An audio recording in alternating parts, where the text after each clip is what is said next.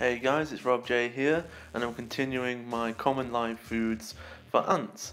So if you keep mealworms, you will all encounter where they start pupating into a beetle, which is known as a mealworm beetle or a darkling beetle.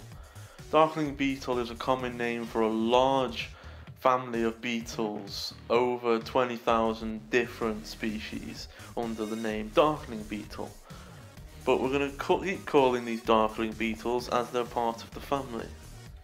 Now after discovering a darkling beetle walking around my mealworm enclosure, I ended up trying it with the boiling water method with my fire ants, and to my surprise, it went down very well. Nice big swarm came out, they uh, ate it even more ferociously than say a dubia roach. So ever since then, once I see them pupating, I pick them out, separate them, and I wait for them to turn into beetles. At this point, they're relatively easy to keep. A bit of uh, protein jelly, uh, the odd bit of apple and fruit, just gut loading them up. Now they're eating quite ferociously.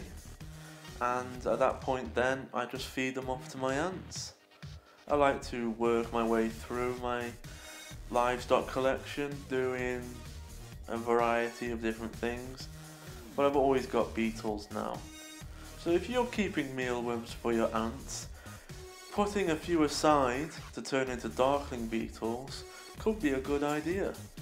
Thanks a lot for watching guys, subscribe, like and comment. Peace.